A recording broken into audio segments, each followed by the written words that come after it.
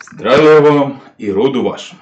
С вами я, Славолюб Алан Богач, духовный и телесный целитель, основатель школы исцеления жизни.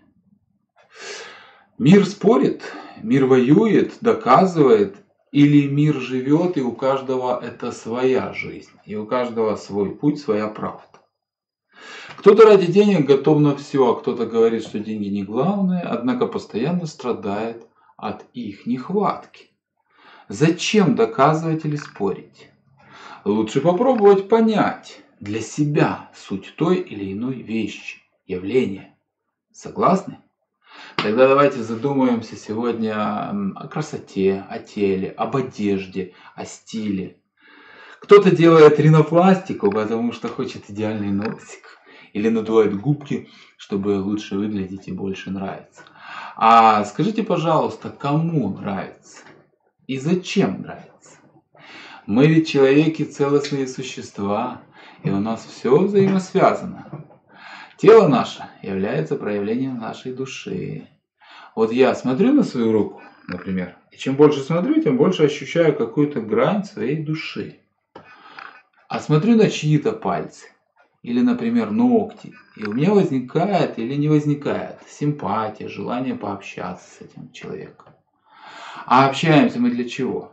Может для того, чтобы обменяться энергиями, информацией, или обменявшись понять, что мы можем вместе сделать что-то интересное, полезное, сотворить что-то красивое. И вот смотрю я на чьи-то руки или ногти и понимаю, что есть в сознании человека, его разуме и душе то, что нужно для нашего плодотворного общения. Есть или наоборот понимаю, что этого нету. Или даже больше того, что у человека есть то, что будет постоянно мешать и раздражать. И что? Если человек сделает себе, например, искусственные ногти и обманет мои глаза, то, что у него внутри появится, чего там не было? Появится?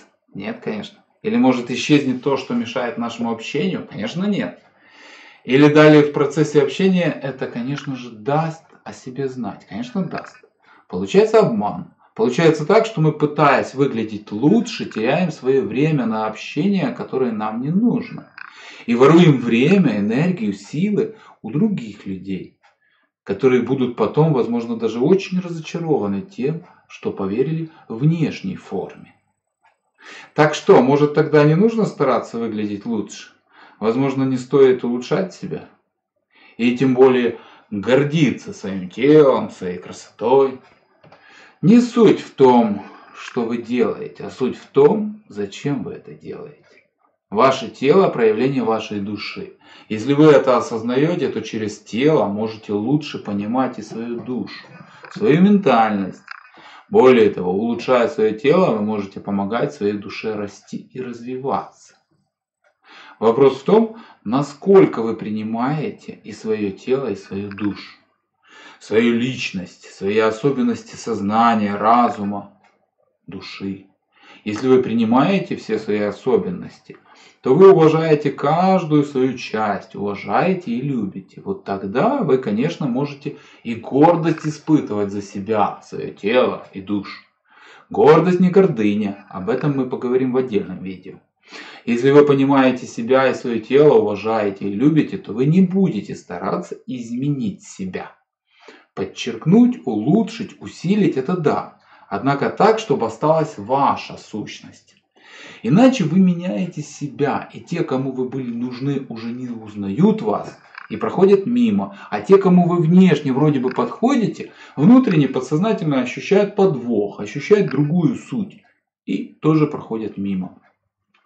Осознайте, что вы нужны миру такими, каким вы есть. Если вы пытаетесь быть кем-то другим, то мир перестает вас ощущать, и вы начинаете жить чужой жизнью.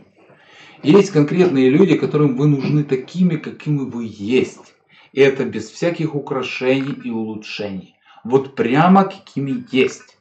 Если вы пытаетесь выглядеть иначе, то становитесь им незаметными и уже ненужными. А те, под кого вы подстраиваетесь, тоже подсознательно вас не принимают.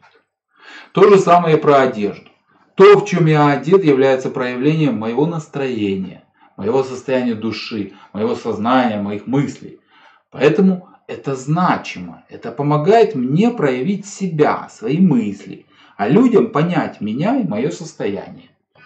Однако, если я буду одеваться, подстраиваясь под какой-то имидж, или, как сегодня говорят, лук, то опять же скорее запутаю людей, нежели помогу понять себя.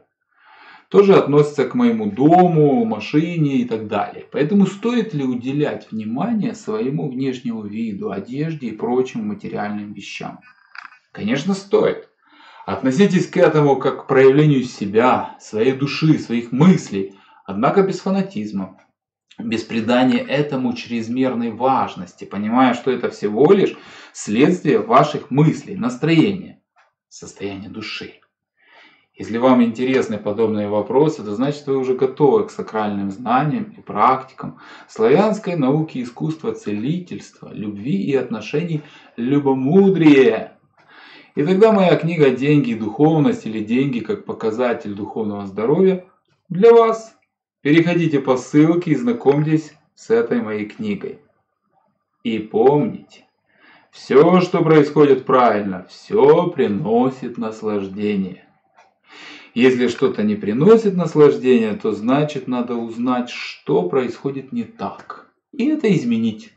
Ведь все в вашей жизни должно быть в наслаждении. Переходите по ссылке и знакомьтесь с этой моей книгой в наслаждение